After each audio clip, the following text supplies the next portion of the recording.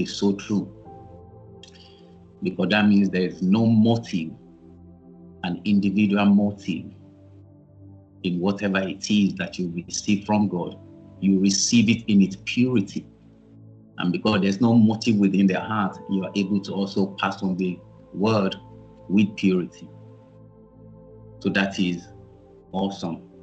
Uh, if you're there, if you're with us today, I'd like you to just appreciate him once again and say thank you um, on the comments. I think I'm going to be engaging today. So, whatever question I'm asking, just type it on the comment. Okay. So, we're going to look at rightly dividing the word of truth. Rightly dividing. Rightly dividing very strong words, not just to divide something, but to right. So we put more emphasis on the the the the, the, the, dividing of the word of God, how we uh, assimilate it, how we lay hold of the truth, and how we hold on to the truth, and how we fight with the truth before anybody and that's the only way we'll that we're being faced with in the body of Christ, even in the body. Like the scripture says, some there's some who have crept in into the body in order to lead other astray, other so when we're able to rightly divide the word, it's easy for us to know the fake. It's easy for us to know the false prophet. It's easy for and this is amazing when you look at the scripture. And what are the new covenant, you know, these people, they didn't have the Bible like we do now. So they would have to go to the synagogue, you know, on a specific day. And then the, the Bible will be read out to them. You know, so every every weekend thereabout, they go to the synagogue, the Bible will be read, and that's how they uh, get to hear the word of God but they are so in tune with the word that when you look at the scriptures, you realize that anybody, whether you're a prophet, whether you're a Pharisee or Sadducee, or whoever you are, a scribe, if you say anything that is contrary to the word of God, they'll stone you. That's what they did, and they'll stone you, they'll take stone and literally stone the person. And that's what they thought they were doing to Stephen. That this is blasphemy, what you're saying and they stone him to death. You know, and that's what they do. They stone you to death because you're speaking something that is contrary to what the word, uh, uh, what the Lord laid down in accordance to His word. So they didn't take it lightly. So sometimes they stone the wrong people to death, like they did with Stephen. You know, but that's their take on it. They believe this man was talking gibberish, rubbish, and um, he deserved to die. So they stoned him to death. So when we look at the scripture, let me use the same scripture that uh, we've all um, been using, uh, which is the same Second Timothy, and that's in chapter 2, verse 15. Second Timothy chapter 2, verse 15. And I'm going to read from three different Bible translations, three different ones. So one will be NKJV, New King James Version. I'll read from King James. I tend to like King James on this matter. Then I read from Berean Study Bible, which is the BSB. So the New King James says uh, in Second Timothy chapter 2, verse 15, it says, Be diligent. So I want us to be zeroing on, on, on key words, because those words are very important. Number one, it says, Be diligent to present yourself. Number two is presenting. Be diligent to present yourself approved to God. A worker who does not need to be ashamed, rightly dividing the word of truth. Be diligent to present yourself approved to God, a worker who does not need to be ashamed, rightly dividing the word of truth. And when we look at King James Version, KJV, KJV says, study to show thyself approved unto God. study to show yourself approved unto God. New King James says, Be diligent. King James says, Study to show thyself approved unto God. A workman that needed not to be ashamed, rightly dividing the word of truth. Study to show yourself approved unto God. And Berean Study Bible, BSB, says, um, Make every effort to present yourself approved to God. Make every effort to present yourself approved unto God. An unashamed workman, an unashamed workman who accurately handles the word of truth. So he says, I'll read again make every effort to present yourself approved to God. And an unashamed workman who accurately handles the word of truth. Who accurately handles the word of truth. So that means people can incorrectly and inaccurately divide or handle the word of truth. So we can see Apostle Paul warning us here that we should show or we should study or make every effort, be diligent, be steadfast to make every effort to present yourself approved to God. A worker does not need to be ashamed, rightly dividing the word of truth. So that means you can incorrectly, you can inaccurately divide or handle the word of truth. You can incorrectly. And we saw that with him. Um, if you look at book of Acts, you know, there was a man that named Apollo.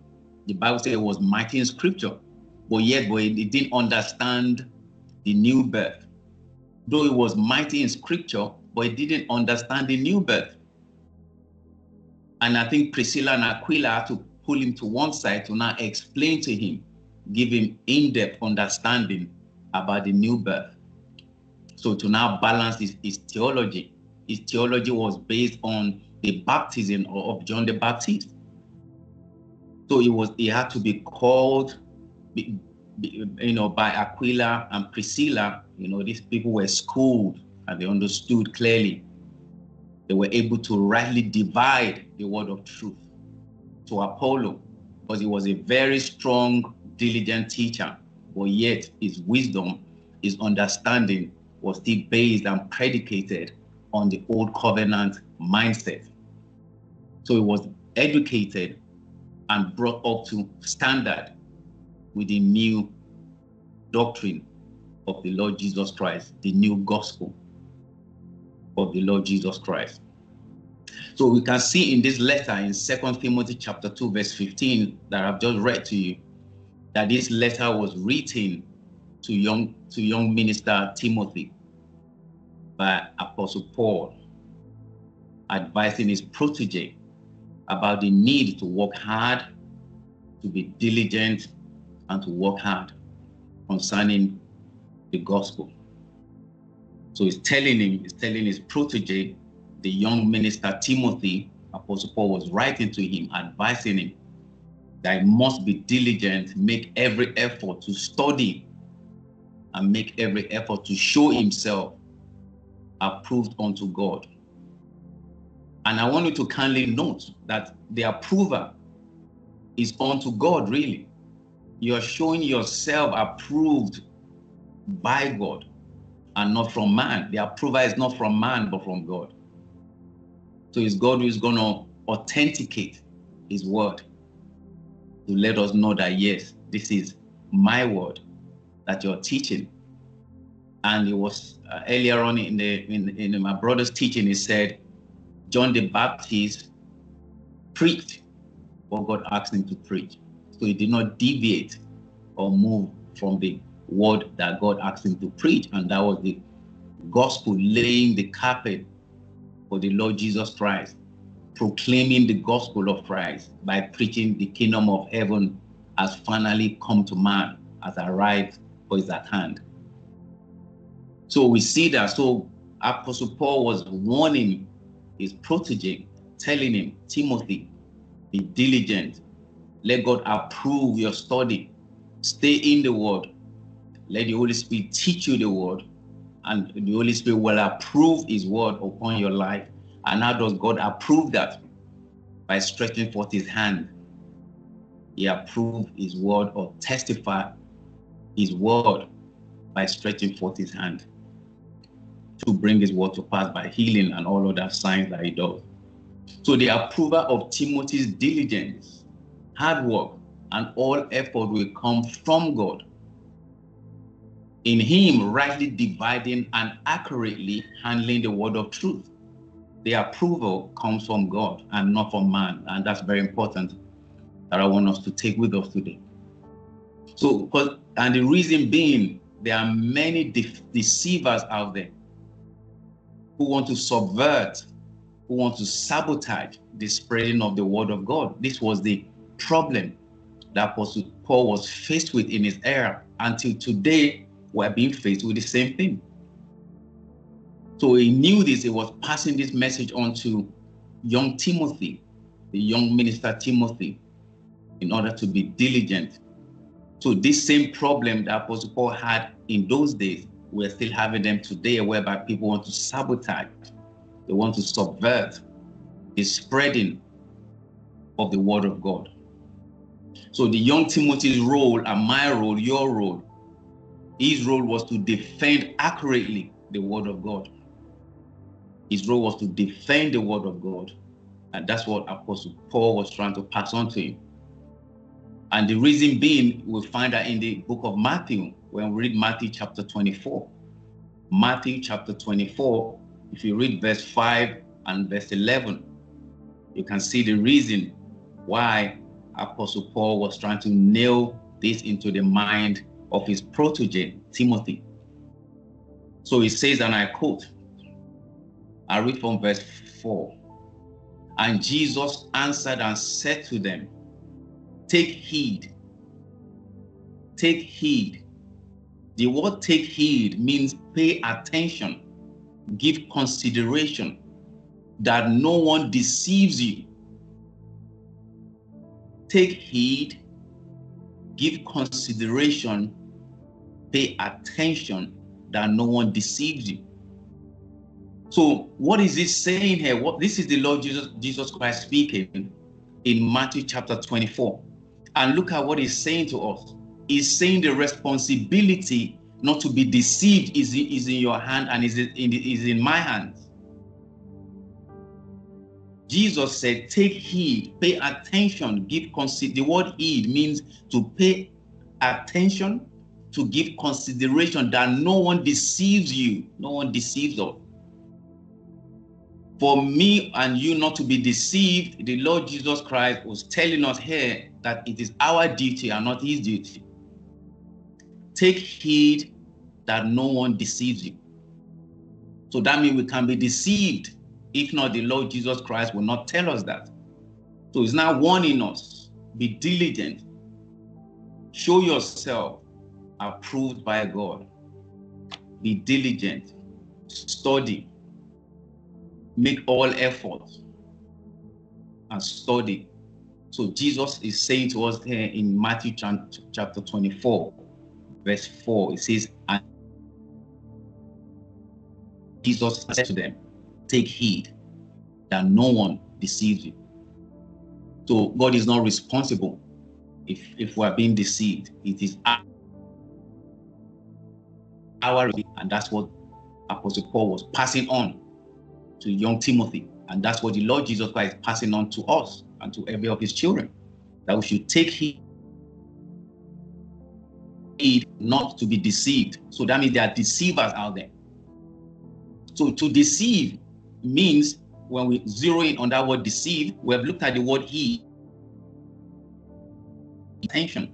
So I have to pay attention. You have to pay attention. You have to give consideration that you are not deceived. And then the word deception or that means is an evil motive. The person who is deceived has an evil motive within them. to intentionally mislead others. That is the most evil thing. That means the person is evil. The person is a devil. It says to deceive. And when you look at the word deceive, it is only used with Satan. The word deception is always used with Satan. He is the deceiver. So he's telling us that take it. So Satan has his children who was who are working for him, obviously. So they want to deceive the elect, the children of God, and cause them to go astray and come out of the will of God. So, so the Lord Jesus Christ said, take heed, pay attention, give consideration that no one deceived you, that no one by trickery or no one by evil motive that they have already carrying within them, trying to fulfill the mandate of their father Satan, they will intentionally, that word is quite important, to intentionally mislead somebody. You know the truth that what you're saying to this person, the truth, but the person, a deceiver, already has a motive within them. This is very important. They have a motive within their heart and the motive within between within their heart is to intentionally deceive and to mislead a person, to beguile a person or another person. So, verse 5 says, For many will come in my name, saying, I am the Christ, and will deceive many. Wow. Why would a person be easy, easily deceived? because they have not taken time to study and to show them, themselves approved by God. A worker who needs not to be ashamed, rightly dividing the word of truth. Those are the ones Satan will play serious game with and will lead away. For many will come in my name, saying, I am the Christ, and will deceive many. The Lord Jesus Christ is telling us here that many will be deceived. Many believers will be deceived when they'll come and say, I'm Jesus. Oh, yeah, really, you are Jesus. And then they will carry them off. In the old covenant, the Lord said, if a prophet comes to you and tells you something otherwise that is against the will of God for you to do, though that prophet may have, may have been giving prophecy that have been coming through, but if you do that thing, he said you have sinned. So you should know your word that anybody that comes, whether it be a prophet, if that word does not align with the word of God, you take heed that you're not deceived by that person. So say, for many will come in my name as saying, I am the Christ, and I will, and will deceive many. I'll jump to verse 11. Verse 11 says, Then many false prophets, who are false prophets, these are Satan's boys. They carry the nature of Satan, they have the power of Satan, and these are the ones who are doing the job of Satan, deceiving. These are the ones you call the deceiver.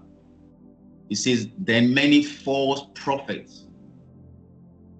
That is the job of a false prophet to deceive people. He says they will rise up and deceive many. These people will actually carry out the task of deceiving people. Christians. And because lawlessness will abound, the love of many will, will grow cold. So if they succeed in their deception, what they will create in the heart of the believer is that the love for God in the heart of that believer will wax cold. And you can see that in the body of Christ today. When Satan will lie that, oh, I thought you know, God is with you. How come this one has not happened? How come that hasn't happened? How come you haven't received your breakthrough in your area? And how come you haven't married? How come this has not happened? How come you, have, you keep saying that eventually the love of God in the heart of the person will wax cold? Because the purpose of Satan and what the enemy does very well when he wants to capture somebody is to discredit the credibility of God. That's what he does. That's how he deceives people. He wants to discredit and destroy the credibility and the character of God. When you look at everything Satan does, is to destroy the character of God. Because when he says to you or, or to I that, oh, God is not with you, how come nothing has, is the one attacking you, say, well, how come your prayer has not been answered then? You've been praying for this matter for this long, nothing has happened. And then you start saying, oh, that's true. And that's it. You know, so deception has come in because he wants to intentionally mislead a person, whether a man or a woman. And then before you know it, the love of God in your heart, in the heart of the person will begin to wax cold. And he says in verse 12, and because lawlessness will abound, the love of many will grow cold. But he who endures to the end shall be saved. He who endures to the end. That means we have to hold on. We have to trust God. We have to study. We have to be diligent according to the scripture to study and to know this God that we're serving. And the Bible says, Those who know their God, they shall carry out exploits. It's only those who know Him. It's not for everybody. That's why the deceiver will be able to deceive many and to lead them astray. So I read verse 11 again to verse 14. That is Matthew chapter 24. Then many false prophets will rise up and deceive many. And because lawlessness will abound, the love of many will grow cold. But he who endures to the end shall be saved. And it says in verse 14, and this gospel of the kingdom will be preached in all the world as a witness to all the nations, and the end will come. So, what will bring the end is that everybody must hear this gospel. Everybody's ears must hear this gospel, and everybody must be given the opportunity to say yes or no to it. He says, then the end will come. But he says the gospel will be preached. What is the gospel? We will look at it later. What is the gospel? So Apostle Paul in this second Timothy chapter 2, if you go to verse 1, we can see what he's trying to say to Timothy. The bone of contention that was he was faced with them, and he was trying to warn Timothy to prepare him also. So when you read Second Timothy chapter 2, and we go to verse 1 now, I'll read verse 1 and 2. So it says, You therefore, my son, be strong in the grace that is in Christ Jesus. And the things that you have heard from me among many witnesses, commit this to faithful men who will be able to teach others. So you can see the strategy of Apostle Paul pouring himself into this young Timothy, this young minister called Timothy. And he calls him son. Be strong in the grace of the Lord Jesus Christ. And, and it says in verse 2 and the things you have heard from me, which is the gospel, among many witnesses, he said, commit this to faithful men who will now be able to teach others.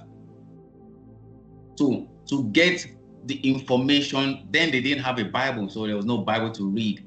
So, all the information was passed to Timothy and Timothy uh, was being advised now by Apostle Paul to now also pass this information to faithful men who can also now teach others and pass the info. A teacher is somebody who passes information, who gives information. So pass it on to all faithful men that they will be able to pass the information or teach others about it. So we can see the strategy of Apostle Paul to spread the gospel of Jesus Christ not just to spread it, but also to preserve it. To spread it and also to preserve it. So this is what Apostle Paul was trying to accomplish. So you can see how they guard this gospel. So it says, in order to for us to accomplish that, you have to commit it into the hands of faithful men who will be able to teach others. All you have to do now is go to the social media uh, um, stage and you will hear so many errors being propagated by uncouth ministers, strange, unusual, uncivil things being taught. So you can imagine why the Apostle Paul was trying to inform and trying to tell his protege to prepare for this in order to defend the gospel so that what he's preaching is the gospel, not another man's gospel. So you see, when you look at the social media uh, platform, there's so many things being said there. So there was such a massive attack against the church of Christ about resurrection. There was such a massive, massive attack about it, about the resurrection, that there was a great need to remain steadfast and diligent in defend, defending the gospel. So this is what Second Timothy chapter 2, this is what Apostle Paul was trying to convey to Timothy. And you can see it's almost as if that is a is a plan by the great apostle because obviously his exit was probably imminent. His exit was, you know, very close. So he was trying to pass on this information to pass the baton to young Timothy to now continue in this quest, in this race, in this in this gospel of the Lord Jesus Christ, to stand for it. But before you can stand for the gospel, you must know what the gospel is. So there was a massive attack against this against the gospel of Christ Jesus. There was a great attack against it. So this man had to be diligent to defend it. So we, we can also zero in to this truth and to this fact when you also go to Second Timothy chapter 2 and you read verse 14, and I'll jump to verse 16 to 18.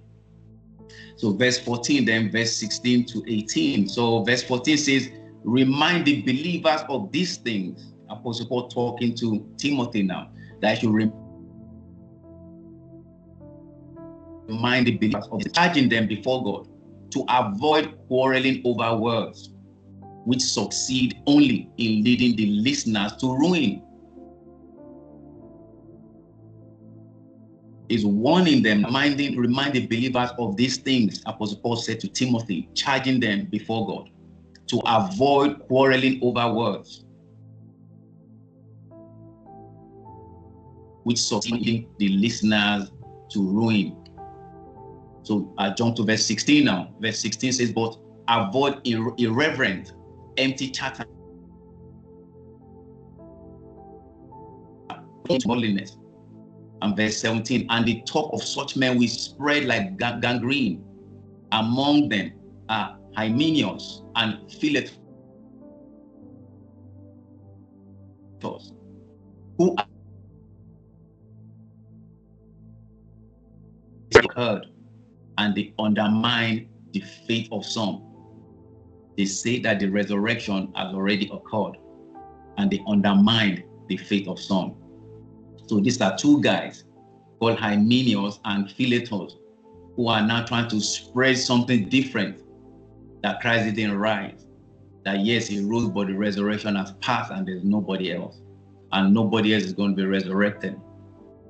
And Christ promised to resurrect all of us back to life but they are preaching something different heresy, something that's not true. And Timothy had to defend this. So you cannot overcome in prayer, especially without the word. You cannot see answers in prayer without proper understanding of what you are seeking God for in prayer.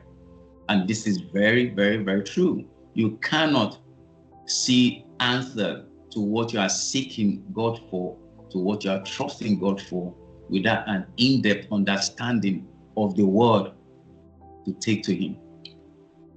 Your heart can only connect through faith. The heart is only connected to the word through faith. So, whatever you hear, faith can come from almost 23 sources. So, it says faith that comes through hearing of the word. Whatever you hear that goes through your ears it triggers a, a, a, an uh, action in your heart. And that action will propel you to now move and act on those words. And that's how faith operates, or faith is a verb. So a belief system will be will be will be caused in your heart, and that belief system will cause you to now move and now act on those words that you've received. So you see, faith that comes by hearing and hearing by the word of God. So your heart will only gravitate towards what you believe because of what you've heard. The scripture says in Romans, how can they believe unless they hear? How can they hear unless somebody is sent to them? So it's what you hear and you connect your heart to that will bring the reality of what you are praying about or seeking about. So the word can only bear fruit within your heart as you allow it to go into your ears. And it, there's a chain reaction that is birth when the word hits your heart. So your heart can only connect through the through faith in the word of God. And that word that you have received through diligent study. And if you look at it, Hosea chapter 4 is a famous scripture that we all know. Hosea chapter 4, verse 6. It says, My people are destroyed for lack of knowledge. This is amazing to me because this God says, My people, is not saying the world, his people, that means the body, the church, are being destroyed. And the reason behind destruction, he said, ignorance, lack of knowledge. So, lack of knowledge is destroying the people of God. And where do we get knowledge from? From study of His Word, from being diligent to study His Word. My people are destroyed. Why? Says for lack of knowledge. Because you have rejected knowledge, Scripture says, I have also rejected you. Because you have rejected knowledge, I have also rejected you. So if you go to Isaiah 53, also verse 11, Isaiah 53, verse 11, it says, He shall see the labor of his soul and be satisfied. He shall see the labor of his soul and be satisfied. By his knowledge, my righteous servant shall be justified, or shall justify many. By knowledge, my righteous servant shall justify many, for he shall bear the iniquity. So we are justified before God by knowledge. So the scripture says, Study to show thyself approved unto God, a workman that needed not to be ashamed, rightly dividing, accurately handling the word of truth. Isaiah 53 that I just finished reading, verse 11, it says, By his knowledge, my righteous servant shall justify many. By knowledge. So it, it is really our advantage to be a student of the word in the Holy Spirit. It is to our advantage to be a student of the word.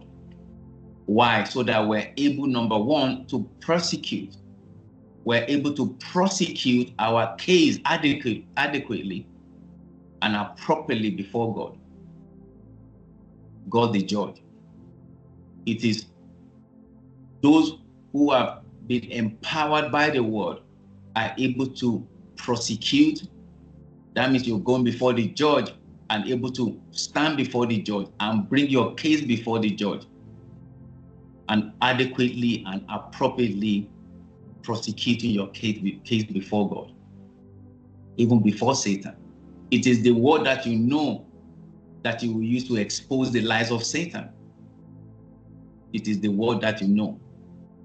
So if, if Satan is attacking and we do not know the truth about that matter, then we suffer in, in, in, in ignorance. If Satan is attacking and we do not know the truth about that matter, then we suffer in that ignorance. It could be sickness, it could be demonic afflictions, it could be poverty, it could be lack, not understanding God's forgiveness, and Satan is planting evil thought and reminding you of your past or something that you did. All those things, if we are not aware of what God has accomplished through the knowledge we have gained by our study and diligently studying of the scripture by the help of the Holy Spirit, Satan will afflict us as believers and we will sit under the affliction thinking it came from God. And Satan is the liar. So that is his modus operandi. He operates, he wants to see if you're ignorant. That's why the scripture says, My people are destroyed. God's people are destroyed for lack of knowledge, ignorance. So, what is he saying? If you do not know what you have and your inheritance, and Satan comes and afflict the person, the person will die out of ignorance. A lot of believers are dying out of ignorance, not knowing that which is theirs. So, and if you are ignorant about something, you cannot fight well, you cannot fight accurately, you, you tend to give up. You tend to give up and accept things. But when you know that no, this guy is stealing from me, you'll be angry.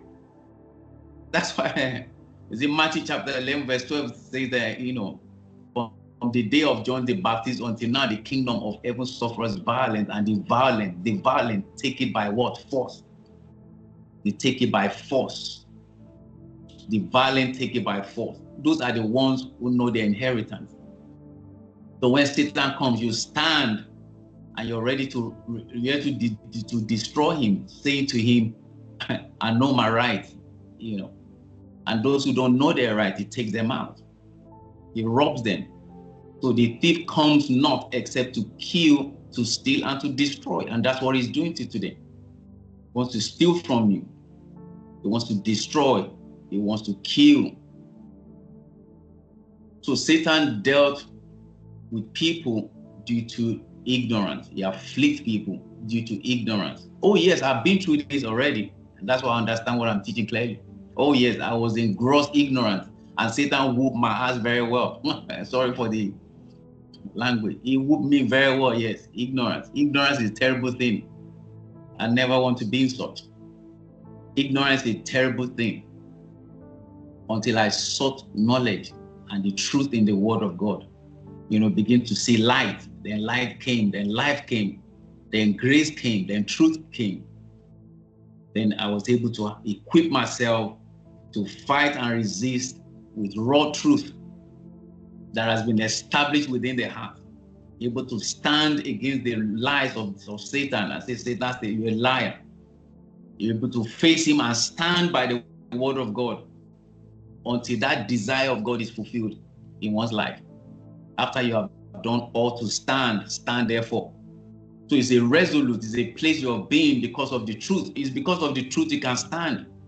That scripture says, after, after you have stand, Ephesians chapter 6, it says, Stand therefore. Anybody that can stand and remain standing, you know something. Oh, yes, you are equipped with something that's making you to say, Satan, you will back down and not me. You are equipped with the truth. You are equipped with the truth. And as such, you are standing because of that truth. And as such, you are able to resist the enemy until the desire of God is fulfilled in that your life, in that situation or circumstances. So that's why the scripture says, fight the good fight of faith. That's what it is, the fight of faith. This is what the word of God says concerning this, and that settles it. That settles it. So Satan will come in our ignorance to afflict us. He, he has afflicted me. I mean, he afflicted me with sickness. He afflicted, me, you know, financially. He afflicted me in all these areas but the truth of the word. The truth of the word. That was the combat. That was the battle. This is what the word of God says. You're a liar. And this is what I stand by. So when the Lord said to, when Moses said to the people in the wilderness, whoever is on the Lord's side, come and stand by me. You know, the Levi and the family stood by him. So who are we? We are meant to stand by the truth. It says, You shall know the truth, and the truth shall set you free, shall make you free. But if we're not studying, like Apostle Paul said to his protege Timothy, study yourself, make all effort to study, be diligent. As a worker does not need to be ashamed, rightly dividing the word of truth. So when Satan comes, because there's nothing you can do with him coming, but when it comes, are you ready for battle? How do you get ready for battle? Truth. The helmet of salvation, the righteous, the, the breastplate of righteousness, the gospel of peace, the belt of truth, everything you must be. All those things must be on you. You must be, that's the knowledge that you must carry. All those things being listed. The helmet of salvation is the knowledge and the truth The belt of truth is the knowledge of truth of the word of God and our, and our inheritance in Him. The gospel of peace is known that through the death of Christ, God has established. So, irrespective of what is going on between you and your father, you have peace with him. So that peace helps you. That's a battle. That, that's that's a battle weapon itself. Peace. To say you can't use that against me. But God has cleansed my sin because of his blood that was shed for me. But if you are not equipped with that knowledge, you will begin to shrivel. Satan will begin to whip the person and to attack him because when you're too strong, when you have been filled with the knowledge of God, Satan, Satan can never stand before such believer. He can never stand before such believer that is equipped with truth, the breastplate of righteousness. I am the righteousness of God through Christ Jesus. There is therefore now no condemnation to those who are in Christ. And I am in Christ, so I'm not condemned by God. That's the truth. The minute you are equipped with that truth in your heart, Satan can never whip you. You'll be wasting his time. So these are the truth that we must study to be approved by God, a worker a workman who needs not to be ashamed, rightly dividing the word of truth. So, are you equipped with truth? In which area is Satan lying to you, people of God? In which area have you not received knowledge? Have you not received counsel through the Holy Spirit and through the word of God that Satan is now using to afflict? The liar. In which area of our lives in which area have you given up and said, well, maybe God doesn't want me to have this? That means we don't have knowledge in that area. When, the, when Satan was whipping my bone very well, I remember then, after I was praying to God earnestly, I remember clearly, I've never joked with that statement the day God told me that years and years ago. He said, My son, anywhere that you are suffering is because you lack knowledge seek knowledge. I have never forgotten that statement when the Holy Spirit told me. And as I seeking knowledge. as I praying God. God now God, my problem was that God guide me to the wrong knowledge, to the right knowledge, not to the wrong one, because there are many knowledge out there that are not true. You know, so in any area that you are being oppressed is because you lack truth, knowledge of the word of God in that area. And what we use to beat Satan is the word of God. That's his koboko, like we call it in Nigeria. That's his belt. When you take the word of God, you whip him with the word of God. I've experienced this. I remember there was a time in a vision, a person came to me disguising, you know, as a, as a human person. But my discernment was so acute. I'm thinking, who is this person? What are you doing here? Next minute, I started speaking our scripture greater is he that is in me than he that is in you. That's what I was quoting. Every time I quoted that scripture, this person would scream. It was like the thing was paining them. I was inflicting pain, just uttering those words, screaming of screaming of pain, of agony. So I thought, oh, okay, this is this is this is hurting you. I, started saying it more. It was scream more. Then it, it was so bad. The person covered their ears with their hands so tight. I rushed the person down on the floor I pull with all my strength, trying to pull the hands away from the ears so I can speak into them very well to, to even do more hurt and damage. But the person was screaming in agony, just me quoting the scripture and releasing the scripture at this person. So that's what he used to whip Satan, whipping his bomb. Then he runs away. But he will stand a bit for a while thinking, maybe this person will give up. Maybe this person will give up. And realize that this person is not giving up. He's not, is is is resolute. He's not turning back from this truth. He flees from that person. That person is marked in the realm of the spirit. I tell you, there's some people mark them that they will say, well, you better make sure when you go and meet this lady or this guy, you are ready for war because this lady will not back down. This guy will not back down until the result is accomplished. And that is the only way. And the way we can accomplish this is what this scripture is saying to us Study to show thyself approved unto God, a workman that needed not to be ashamed, rightly, rightly, rightly dividing, accurately handling the word of truth. Glory be to God. I was only able to resist Satan. That's why I don't joke with my Bible. I read it every day. Over 20 years, every day. I don't joke because I understand what I'm sharing with you now. Every day, study my Bible because I know until I started doing that, yeah, Satan dealt with me very well. He will just be throwing things at you. Sickness will come, this one will come, poverty.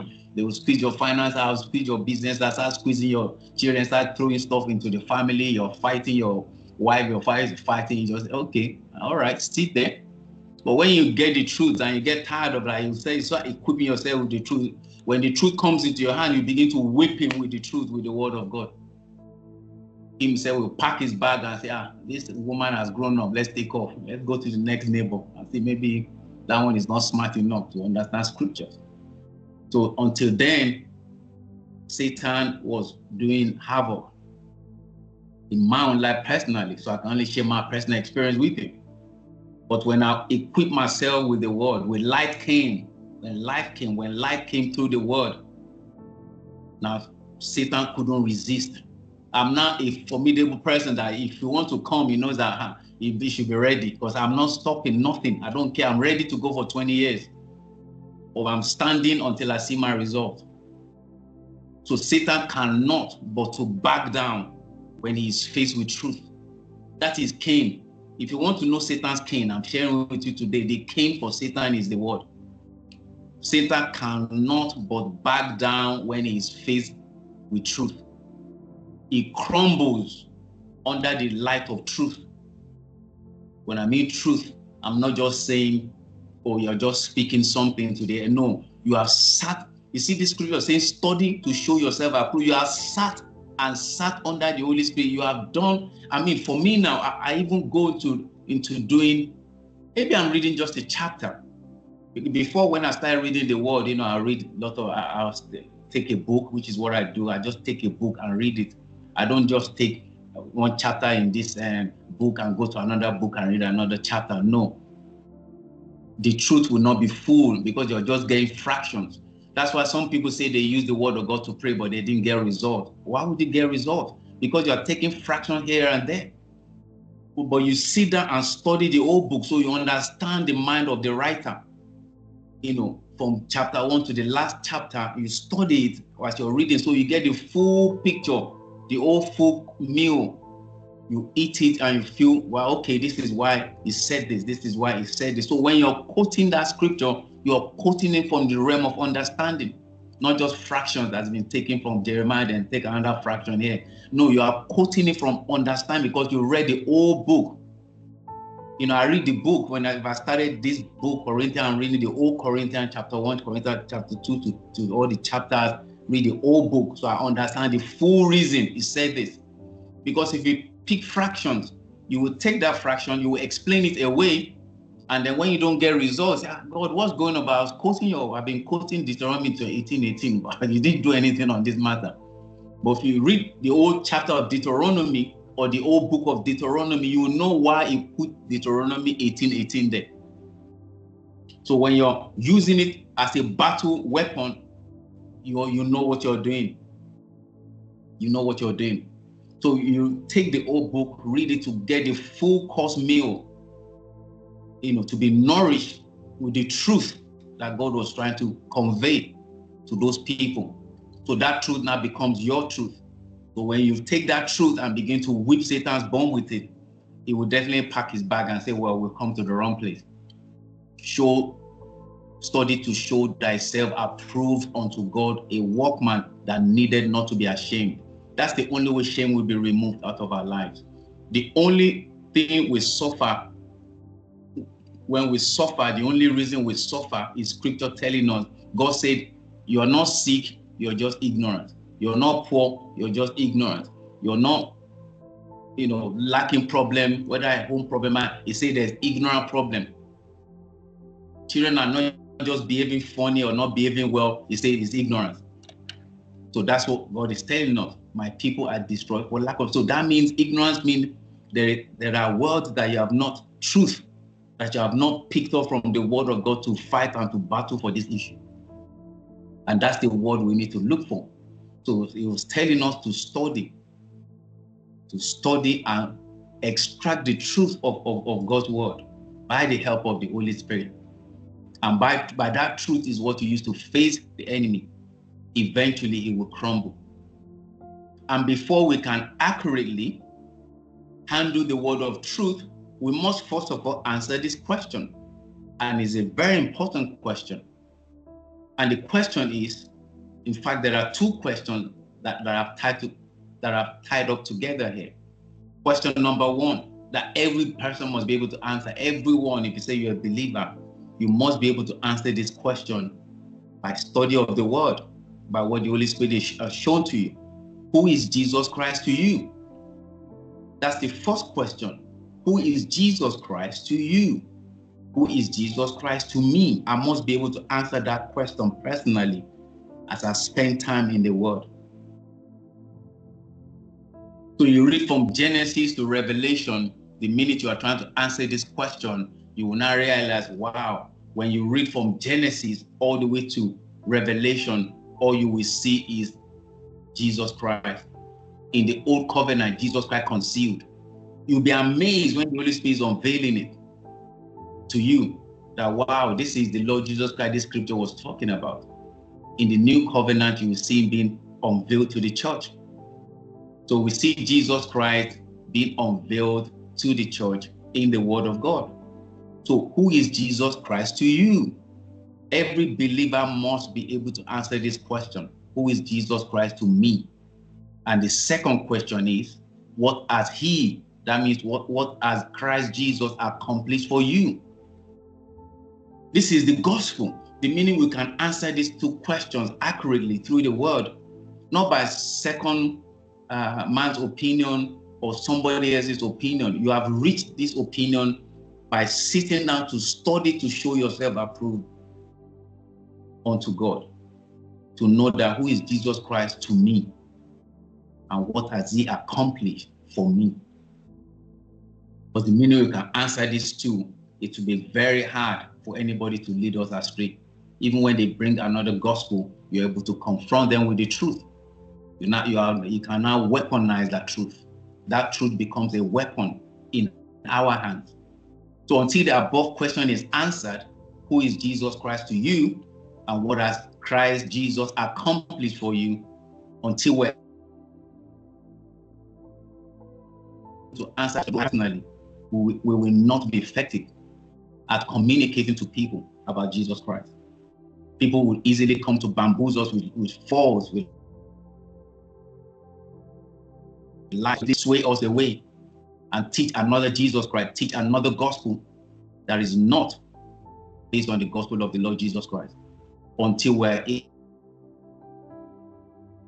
to answer who is Jesus Christ to me, who is Jesus Christ to you, and what, the, what has he accomplished for you? What has he accomplished for me? If we that question effectively, then we're able to communicate that to ourselves and to our world. And a person with a person who wants to sell us lies, we fail. No is the Son of God. The world knows the Son of God. But who is this? The Son of God who was born to die for the sins of all mankind in order to restore us all to God Almighty. So we can see the mission of Christ. And Jesus was focused on his mission. So we can see that the death of the Lord Jesus Christ on the cross is also a proof or the proof, not even a proof, the proof. That means that's the only proof of my worth, of your worth in the eyes of God. See, when you look at the cross, you see what you and I, our worth before, before God. In the eyes of God, God is saying, that's how much you are worth to me. To put this man in agony and suffering, to be so battered that the Bible says his, his figure was so disfigured that he didn't look human anymore. He was so beaten that his face, everything was disfigured. The scripture says he didn't look human.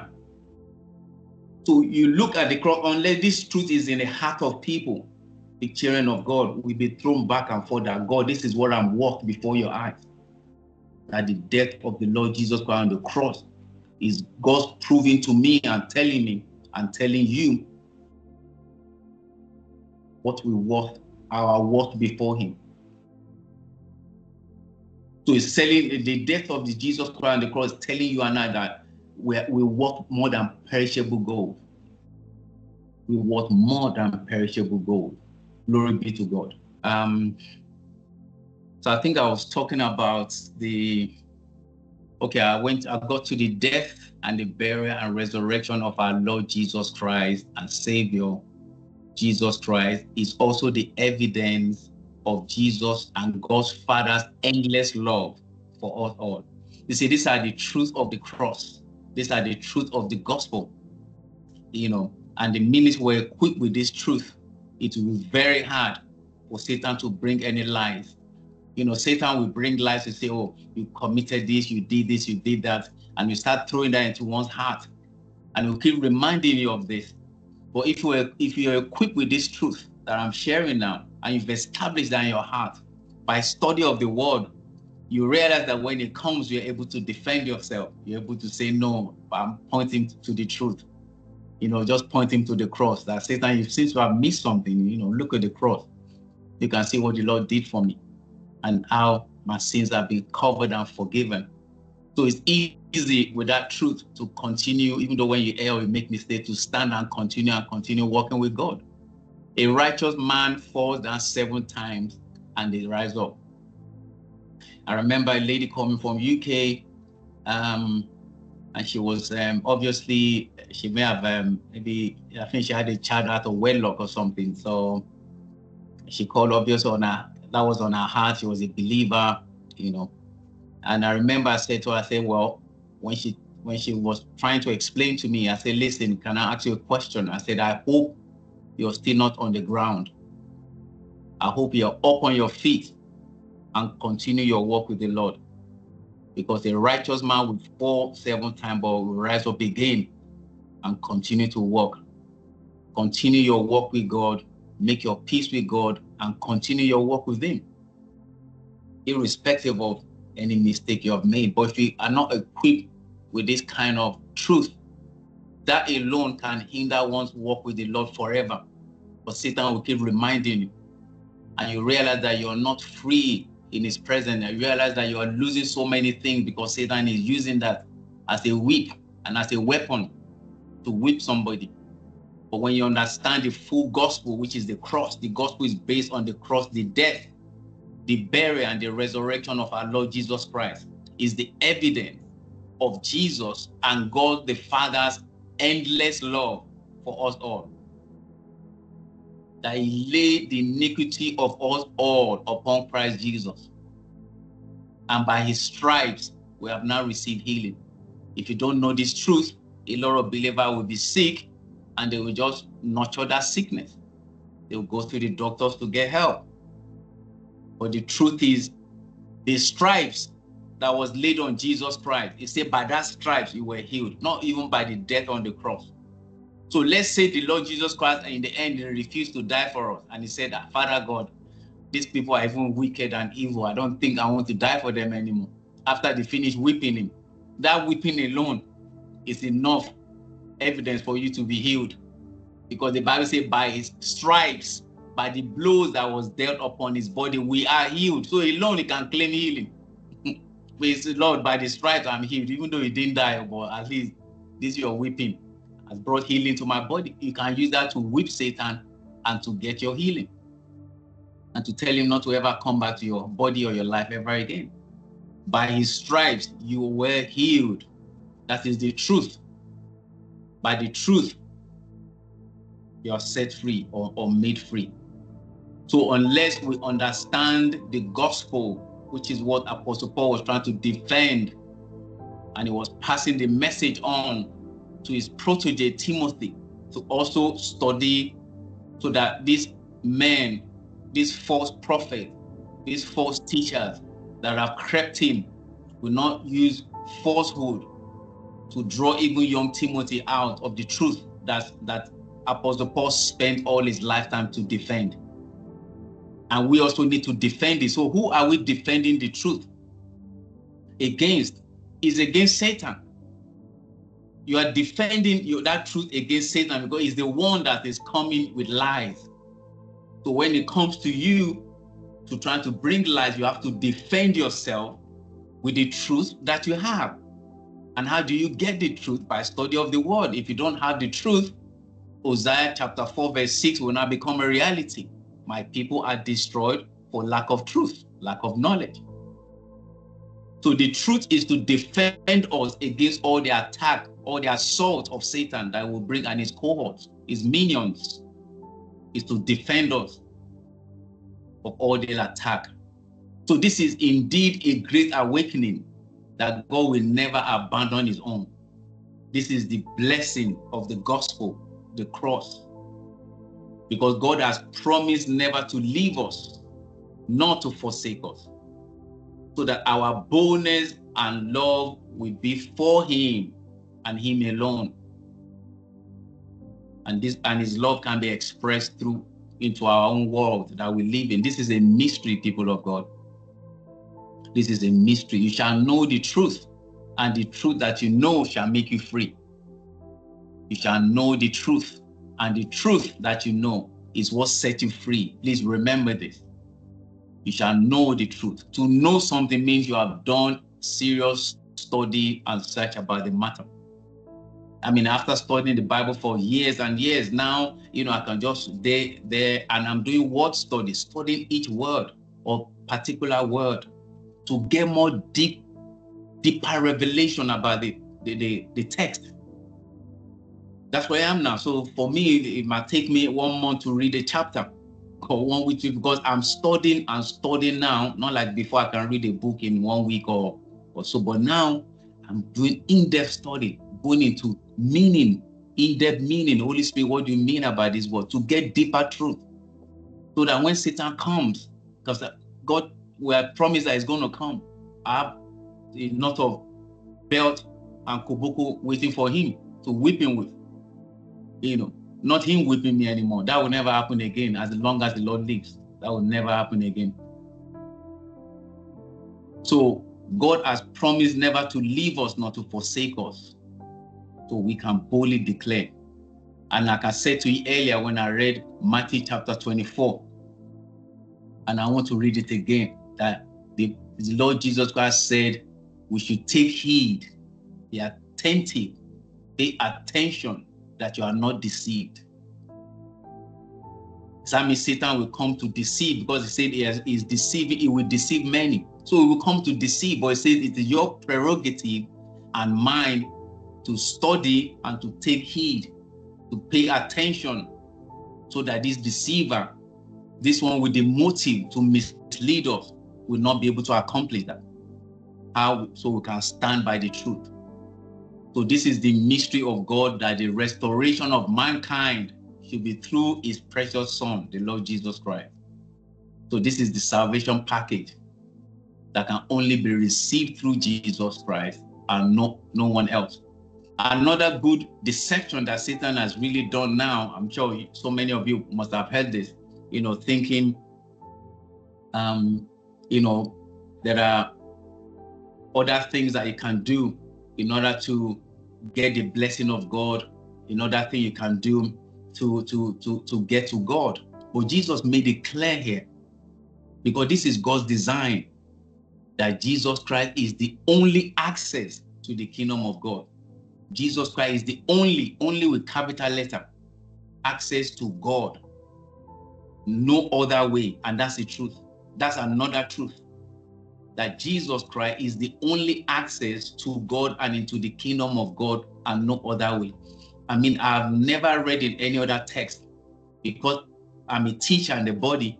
I tend to read and read wide to see what is in the mind of people. Even on my phone, I have a I have a Quran on my phone. I want to see what is in the mind of these people. What are they thinking?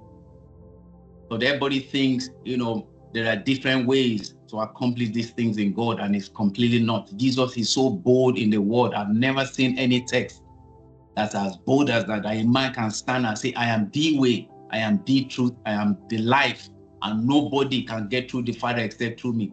Men That's the boldest, sorry for the English, that's the boldest statement I've ever heard. That is bold.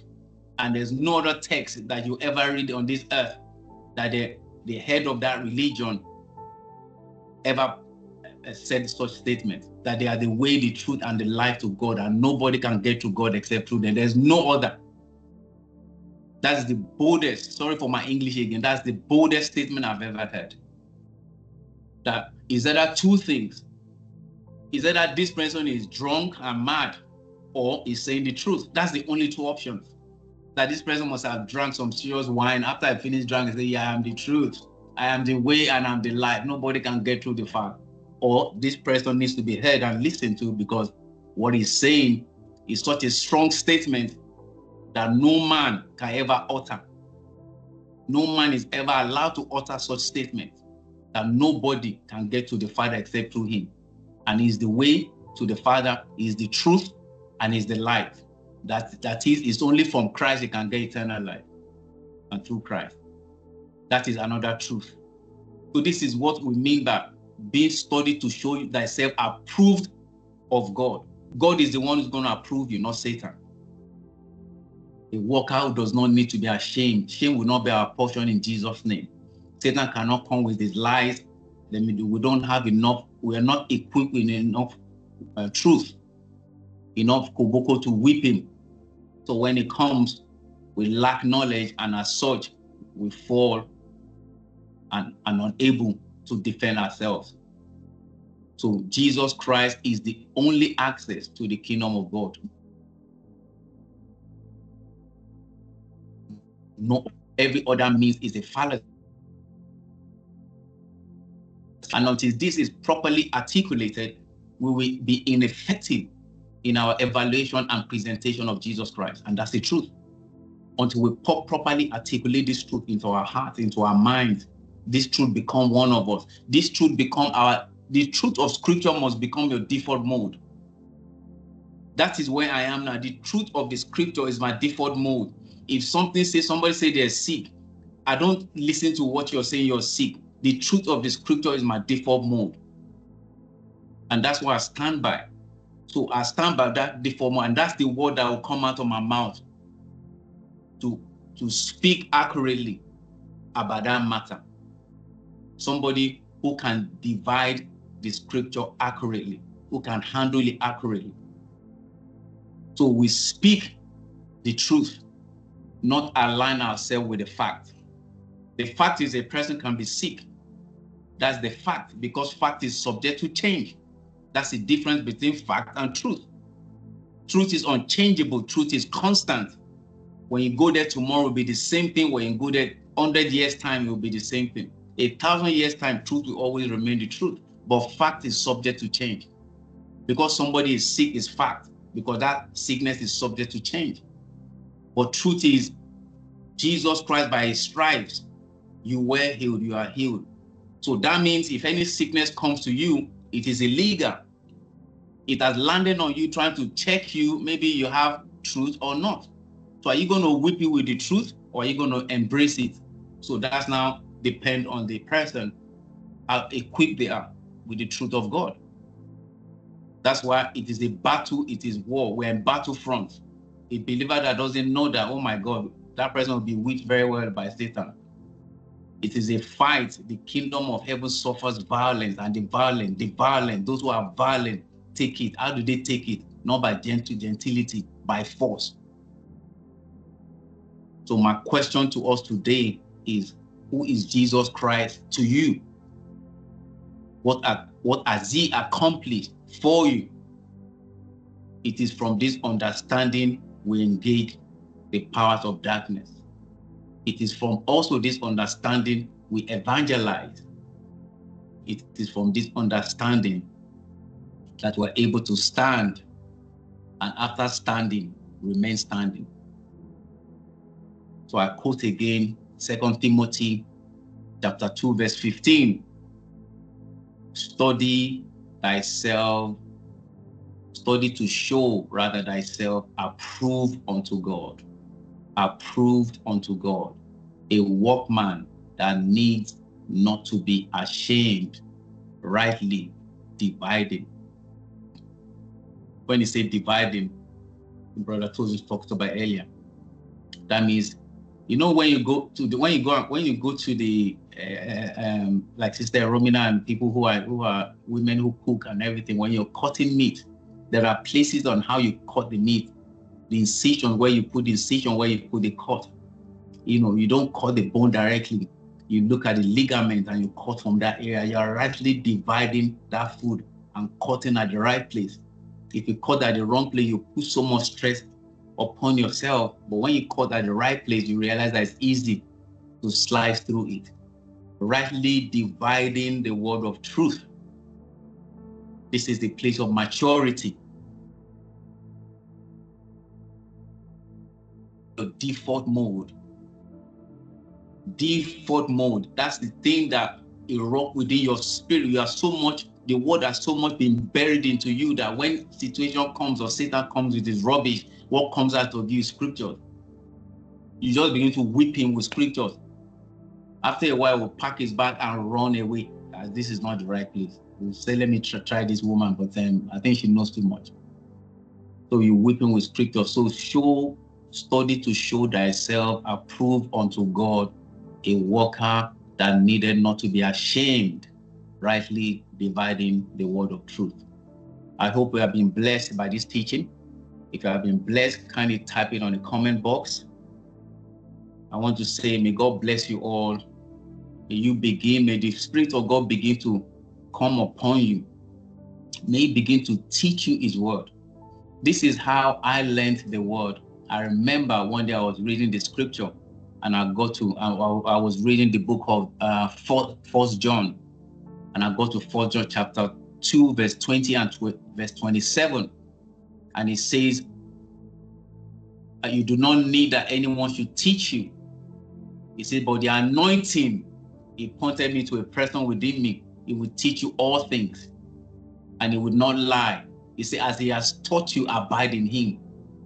That was the Holy Spirit. God was telling me, You sit under the Holy Spirit and I will teach you. And why did God say that to me? I remember I said at times when you're being taught by men, men tends to add the, the part of themselves to, to, to, the to the word of God, to the teaching that they're teaching you.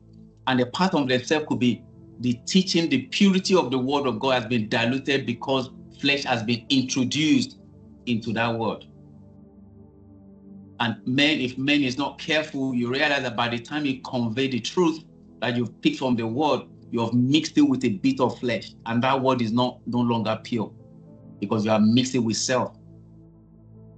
You know, and Brad Tosin uh, uh, also said this earlier. You have mixed it with self. That that word has been mixed with self, so the word is no longer pure because some part of you have entered that word by the time you pass it on to the next person. You did not deliver that word in its purity.